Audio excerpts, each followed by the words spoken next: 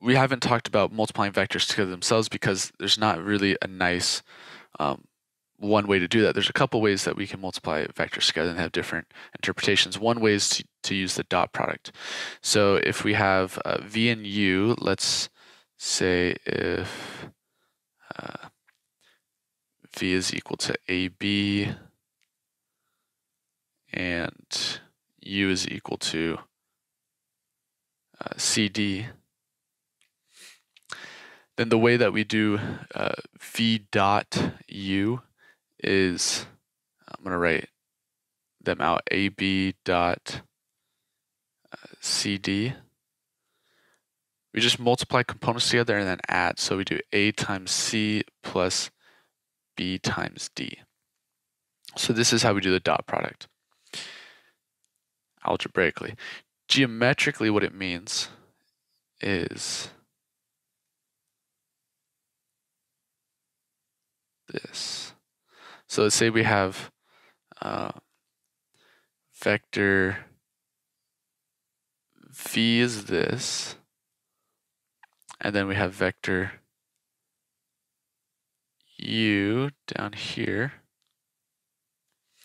So what uh, the dot product is, is what we can do is we can create a right triangle from vector u to vector v. So this creates a right triangle here. So we just draw down. And what the dot product is, is so we can create another vector out of this. So let's call this vector here. So where where the, the triangle meets, uh, that right angle meets vector v, we'll call this vector w. And the dot product is if we take vector, uh, so if we do vector v dot vector u, this results in the magnitude of vector w times the magnitude of vector v. Now you might be wondering why is this useful? How does this relate? Um, and a, the usefulness of this is we have this angle in here call it theta. This is the angle between vector u and vector v. So this, with a little bit of uh, looking at this a little carefully and, and using some uh, SOHCAHTOA, because it's a right triangle, we can get a formula for the uh, angle between two vectors.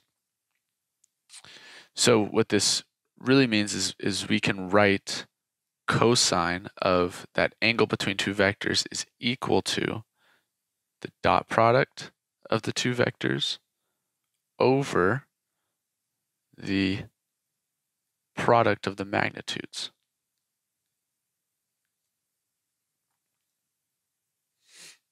So if we want to find the angle between these two vectors, u and v, we uh, need to find the magnitude of each of them, and we need to find the dot product.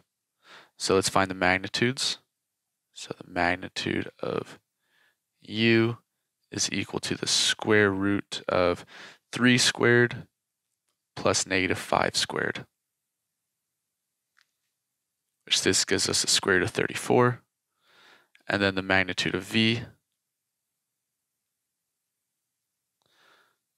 is the square root of 2 squared plus 4 squared.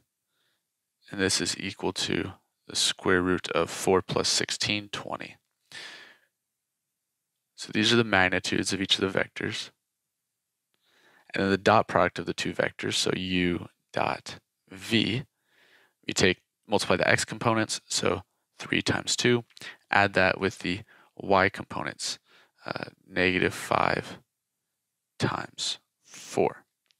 So this is 6 minus 20, which is negative 14.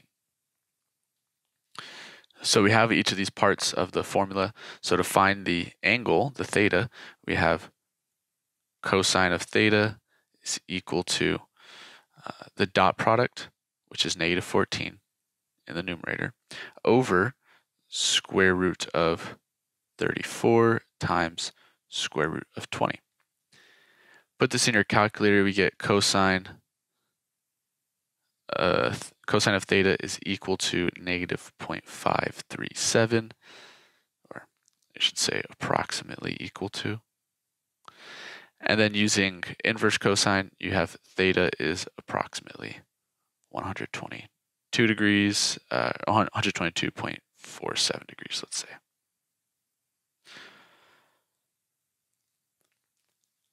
And then kind of an, an afterthought, if uh, the dot product is zero, then that means when we, when we do this projection down here, that the, the magnitude of one of these, in particular the magnitude of this w vector, that, that vector along v that creates the right triangle, that magnitude of, of that w would be zero, which means this w vector wouldn't be a vector at all, it'd just be a point.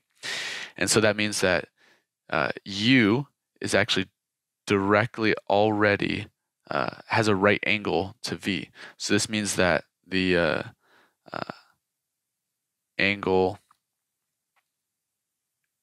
between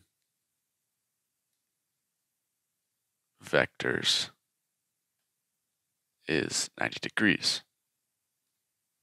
So we, we can't create that right angle because it already is a right angle, is, is the idea. And we'll wrap it up there.